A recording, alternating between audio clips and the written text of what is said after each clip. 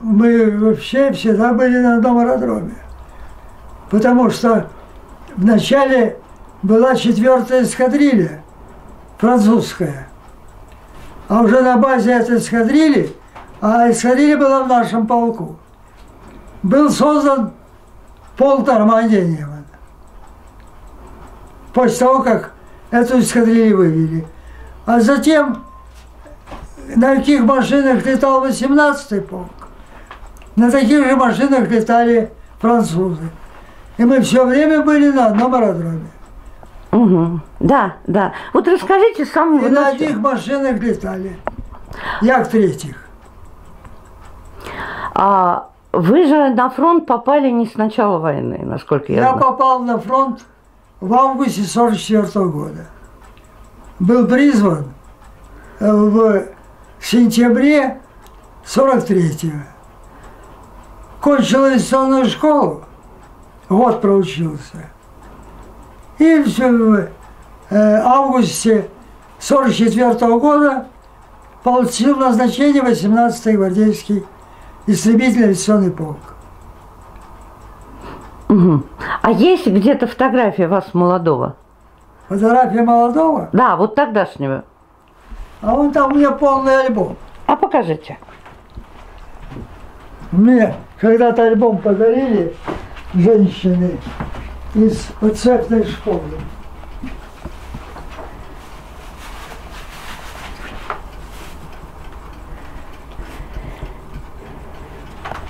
Вот сделали альбом, видите?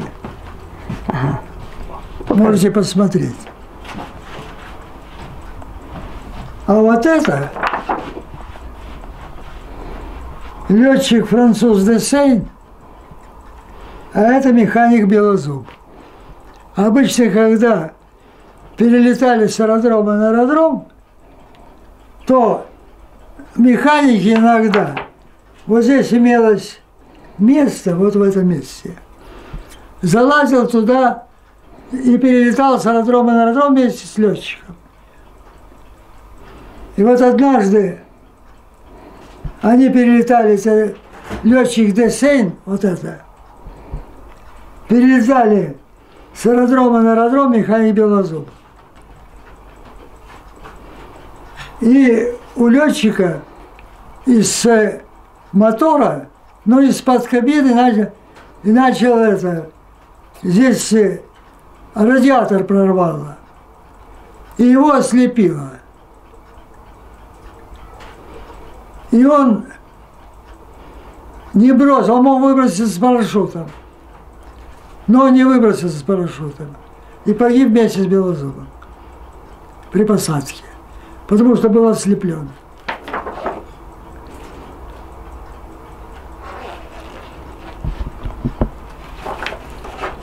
А вот это мой альбом, который мне сделали подцепная школа. А сади... да, сядьте, как вам удобно, и пока, да. А то вы, что это? Сделала подшепная школа. Угу. 22 здесь. Мы там музей организовали. Нашего полка. И французов тоже там же. Вот. И они мне сделали прекрасный альбом. Вот я здесь молодой. Сейчас я вам покажу.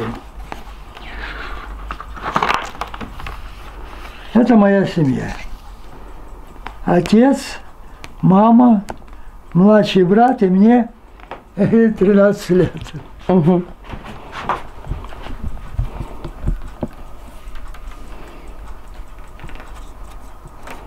Это из Польши отец приехал в отпуск. И сфотографировал.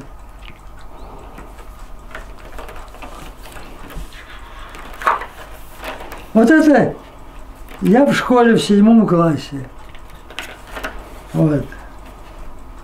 Ну, здесь все гражданское. Это, по-моему, Татьяна. Девушка или нет? Девушка. Татьяна. Это первая моя любовь была. Вот это мой друг Володя Щеголев.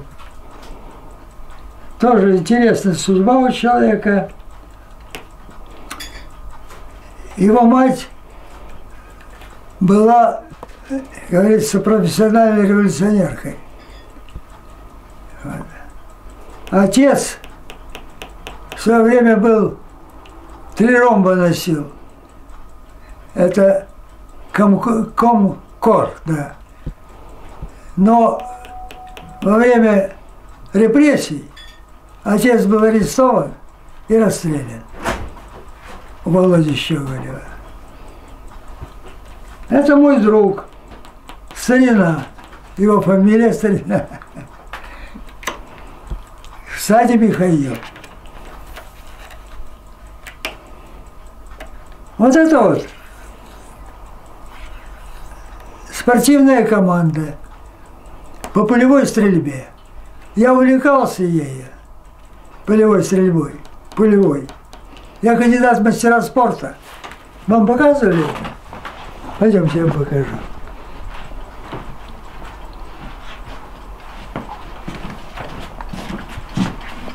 Сейчас. Вот. Вот это вот мое, вот кандидат в мастера спорта.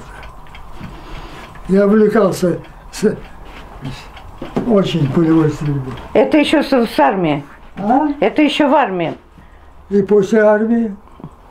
Так э, когда вы, вы там-то фотографировались на фронте? А? На фронте-то фотографировались? Вот вы пришли в На пол. фронте, по сути дела, такого...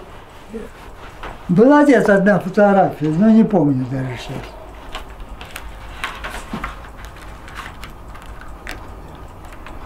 Дальше здесь была маленькая где-то фото- фронтовая фотография, не вижу ее. Нет, нет.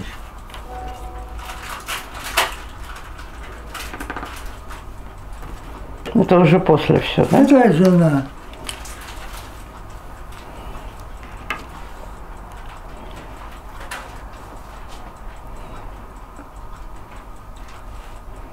Вот, это было в, армейской газете. Э, Первой воздушной армии. Это снимок. Это вот когда вы... Вот. Видите? А Что написано? Так. Отличник боевой. И политической подготовки. Ага, это какой год-то? Это был с- 40, 47-й, да. А, ну это уже после, после фронта. Уже после войны. Да, да, да, 47 год, по-моему. Вот это можно считать военное тоже, вот это. Ну, это, это- ну, это позже, по-моему, уже, да. Это позже. Боже, конечно, взрослый уже. Во, вот она, военная. Я знаю, что где-то есть. Во, видите? Мальчик какой. 17 лет не было. Так что есть. Как я говорил, одень шапку, так и глаз не видно. Такие толстые мы были. И могли одевать гимнастерку, не расстегивая пуговиц. Дайте я еще посмотрю, сниму. этого. Прекрасно. Ох, как оно отсвечивает. А немножечко вот так. Мгм. Да. Да. А, вот, так это... Видите, какой пацан? Ужас. А вот это вот, это я учился в Ленинградском дважды разделении Фридриха Энгельса политическом училище. Это перед увольнением за- стремился в коптерку за мундированием переодеться. Это шуточная фотография, видите? Значит, я поступил в политическое училище в Ленинградское в 49 году. Два года проучились там. И училище расформировали. И после этого направили нас доучиваться, кто с каких войск пришел. Но я пришел с авиации и поехал учиться в Харьковское авиационное училище связи. Вот это вот как раз в Харьковское авиационное училище связи. Вот я, как командир взвода, был назначен. У нас не было офицеров, один командир роты был только. А все курсанты были с политических училищ присланы.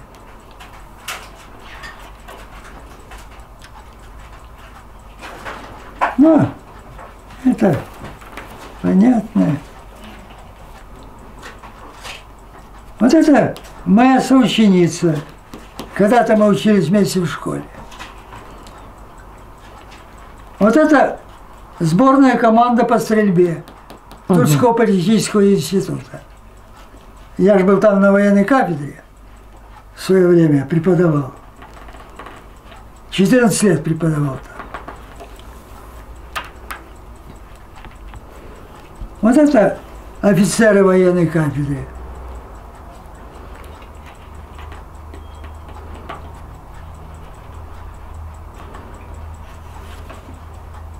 А вот это вот, смотрите, здесь Калашников, кстати. А вот. Видите?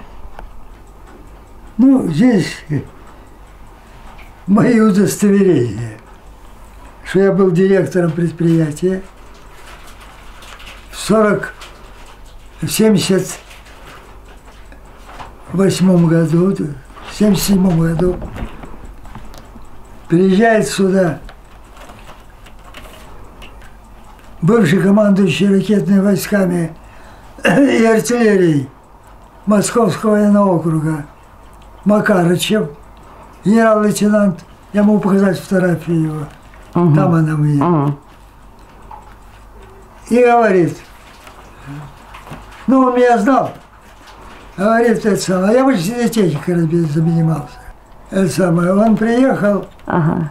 стал в Москве работать, э, когда демобилизовали его, его в радиопром, и министр был его друг. Угу. И назначили директором предприятия спецовым комплекс. Это предприятие, которое занималось внедрением вычислительной техники в войсках. Он сюда приехал в 1977 году ко мне. Говорит, Борис давай-ка организуй здесь производственную лабораторию, а потом пре- предприятие. Короче говоря, в 1977 году я, будучи еще в армии, организовал эту лабораторию по вычислительной технике. А он мне позволил, помог уволиться. А я хотел уволиться, потому что сына оставляли в институте. Он круглый отличник, получал премию Дегтярева. А секретарь обкома на одном выступлении сказал, понебратства не должно быть в институте. Ну и я хотел уволиться оттуда. Он мне помог уволиться, и я здесь начал формировать предприятие по вычислительной технике. Уже в 1977 году сначала производство лаборатории сделал, потом сделал региональный центр, а потом сделал с 1987 года производство предприятия «Конус». У меня было около 300 человек. И я э, со своими людьми внедрял вычислительную технику в войсках. Вся вычислительная техника в 80-х годах в Тульской области была нами установлена и обслуживалась. О, слушайте, ну это вы важные люди были, да. Ну, и я сколько, 27 лет был директором предприятия. И устанавливал эти, и вычислительную технику внедрял в, это, в войсках. Вплоть до Чукотки. Мои люди работали. Про французов все-таки вернемся к войне. Сейчас вернемся. Да. Значит, я рассказывал, что я приехал, когда на фронт в 44 году в августе. Ага. Смотрю, стоят самолеты с трехцветными коками рас, расцвечены. В цветах французского флага. Я ребят спрашиваю, что это, чьи это самолеты? А говорит, это французский полк Нормандия Неман. Вот так я познакомился с французским полком. Дело в том, что они летали на тех же машинах, что и мы. Они все время были с нами связаны. Они все время были с нами на одном аэродроме. Мы взаимно помогали друг другу в обслуживании их техники. И до самого Эльбинга, это последний город, где мы закончили войну, мы всегда были на одном аэродроме, рядом наши машины стояли. И мы помогали друг другу, механики в обслуживании машин. Они от нас уехали, по-моему, 14 или 15 июля или июня 45 года из Эльбинга. Это сейчас Польша. Вместе с ними полетели наши механики, которые обслуживали их машины. Они полетели впереди, а механики на Ли-2 за ними. Ну, я рассказывал уже, что по дороге они на одном из аэродромов садились в, Германии, а там стоял полк. Английский, английский полк на спидфайерах. Они устроили показательный воздушный бой. Со стороны французов летчиком выступил Марки, прекрасный воздушный ас. Ну и, как говорят в авиации, он надрал этому англичанину хвоста. Потом они, Марки, кстати, впоследствии стал, э, я это узнал летчиком-испытателем на каком-то заводе, и при испытании одной из машин разбился. Погиб. Ну, а тогда, когда отправ- они полетели во Францию, они около двух месяцев летали с французами по всей Франции. Наши механики. Встречали их прекрасно. Ничего. Два месяца они летали, их встречали, что они после этого должны были отдыхать два месяца. Вот, Вот. так с самого начала. Ну, вот самолеты стоят. Вот они, значит, вам говорят, вот французы. А как вы с ними, вот, ну, вы же познакомились как-то? Ну, знакомиться как? Во-первых, мы питались в одной столовой. Наше знакомство уже свободное. Кроме того, у них был, мы его назвали граф Делепап. В самом деле он оказался виконт потом. Это меньше звание, чем граф. Короче говоря, у него была невеста в Америке, как нам говорили. А эта невеста и французы присылали почти каждую неделю Дуглас подарков. Одна столовая. И вы представляете, что в этой столовой этот Дуглас подарков надо было употребить. Вот так мы встречались, так мы общались. Люди они были очень простые. Вот даже я помню такой случай, это был Фридланд, Восточная Пруссия. Они где-то лошадь добыли с повозкой. И вот занимались этой лошадью, повозкой, ездили это, сам, на охоту на ней. Во Фринленде, это Восточная Пруссия. А в остальном они проводили время так же, как и мы.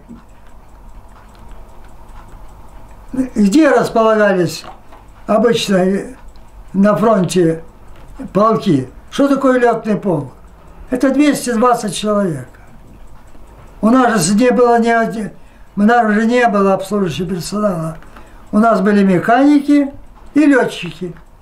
А наземное все обслуживание осуществляли батальоны аэродромного обслуживания. Они к нам не относились. То есть мы перелетали налегке всегда. Самолеты и люди, все. На другой аэродром. Я механиком был по радио. Моя задача была настроить радиостанции на самолетах на нужную волну. И все. А с какого места вы начали? С какого, ну, где вы, э, вот, ну, когда вас направили в этот 18-й полк, где вы их догнали, в каком месте? Я в, в этом э, присоединился к 18-му полку в Алитусе, в Литве. И после этого началось наступление на Восточную Пруссию. И я принимал уже участие непосредственно в боях. То есть обслуживал самолеты, которые участвовали в боях.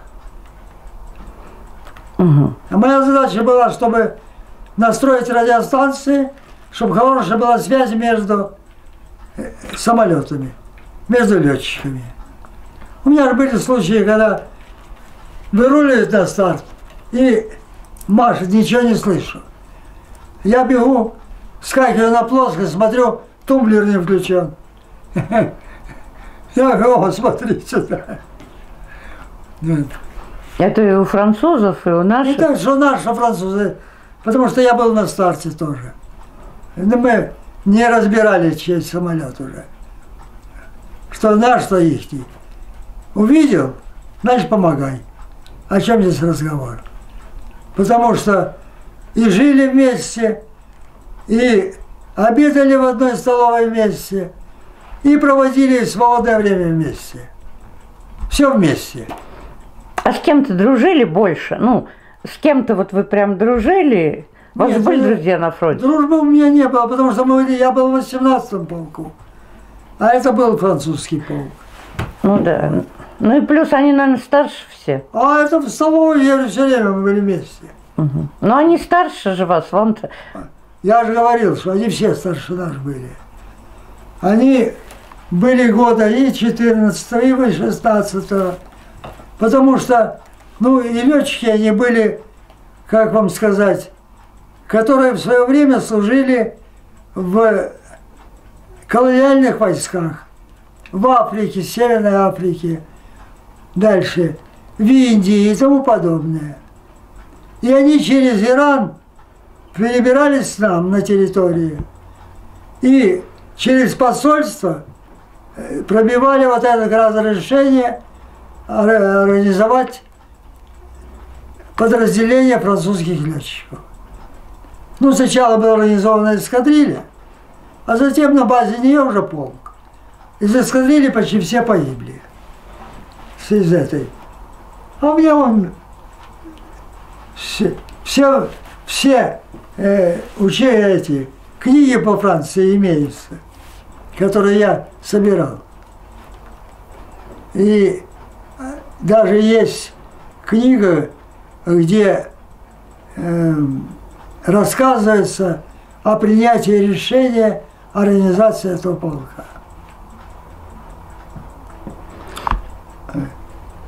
Ну что можно еще? О них сказать можно только одно. Это были люди, которые были преданы своей родине, которые не могли остаться безучастными к тому, что делалось во Франции, и которые хотели драться за свою родину. Вот фотография. Ага. Вот, вот, вот, вот она, да, это та Вот здесь. Угу. Вот фотография, смотрите. Это генерал Захаров, командир дивизии нашей. Угу. Это Кулипов. был. Нет, это ты сам. Это я, да? Да. Это я. Это Пуят. генерал Пуят. Первый командир полка Нормандии немец. И это Кульпов. Вот здесь вот посмотрите. Вот Захаров. Угу. То есть нет, прошу прощения. Это Голубов. Командир полка наш. Он, потом генералом стал. Угу. Это в ресторане «Россия». Угу. Вот это Абрамишвили, командир звена наш, нашего полка. А вот это полковник Агавельян, главный инженер полка Нормандия Неман. Вот он. Угу.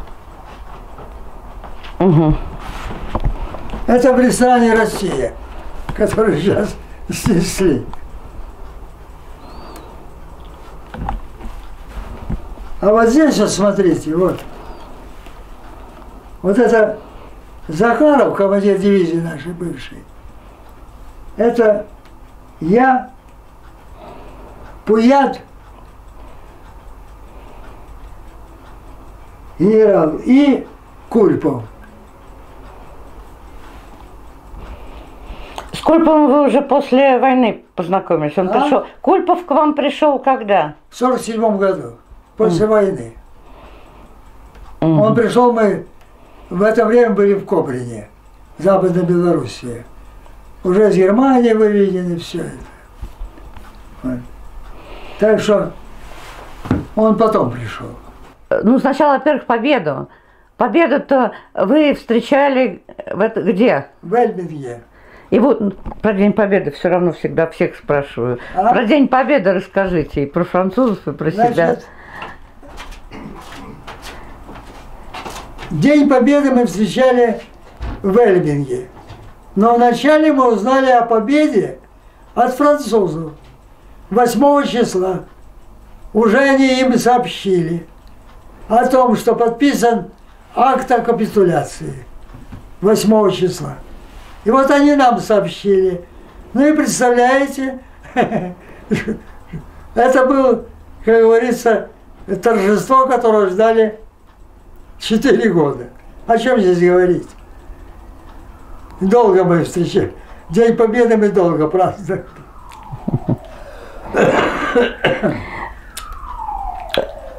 А потом, значит, из Эльбинга французы, мы их проводили оттуда. Я говорил уже, что полетели они на Як-3 во Францию. Как Сталин сказал, воины должны возвращаться домой с, св- с оружием, которым они воевали.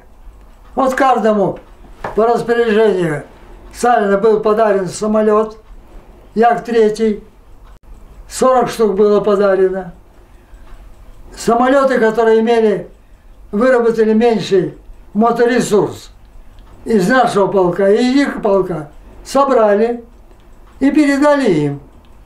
И они полетели с нашими механиками во Францию. Мгм. Летали во Францию два месяца по всей Франции. Встречали их, конечно, прекрасно. Значит, мы полком встречались очень часто. Почти каждый год. Полком своим. А потом начали и французы приезжать.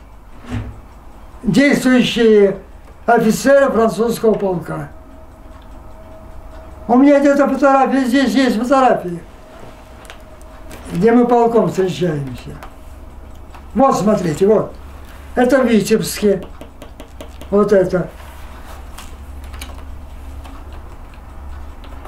Это в Москве мы были, встречались.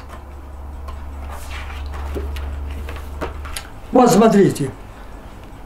Пол сфотографирован.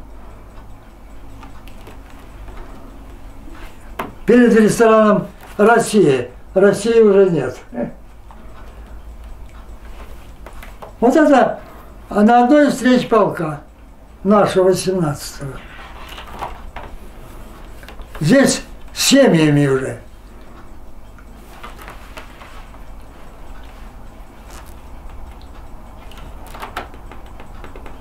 Вот здесь, в Хотенках, встречались, вот здесь. Это все после войны. А кто из французов приезжал? Вы, ну, приезжали те, кого вы знали? Нет. А г- приезжали уже французы, кого мы знали, никого живых нет уже. Ну, сейчас-то да. А тогда... э, А тогда приезжали, в основном приезжали эти. м, Из полка действующего.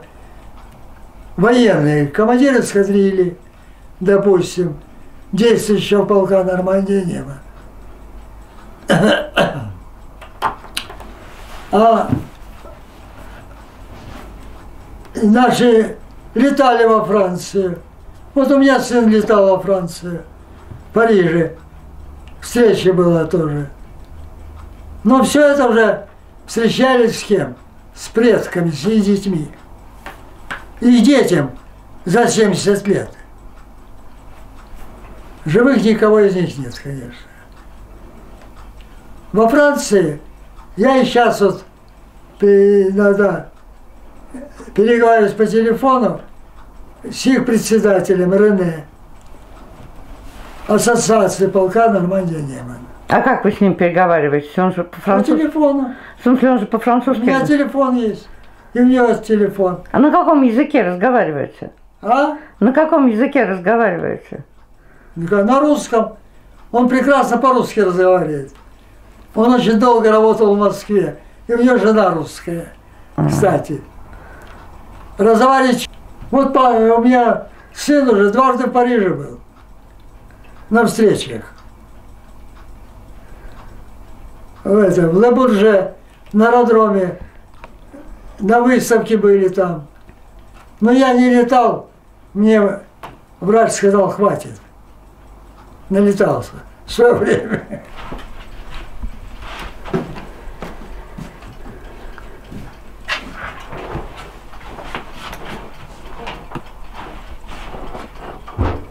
Я, наверное, помогу. Он тяжелый, значит. Это. Да, я открою. Эй, Костюм. Вот. А вы попробуйте, возьмите в руки. Как. Нет, э, Да! Как же это носить-то? вот именно, вот. Как вы это носите? Я не ношу. Редко очень. Очень редко.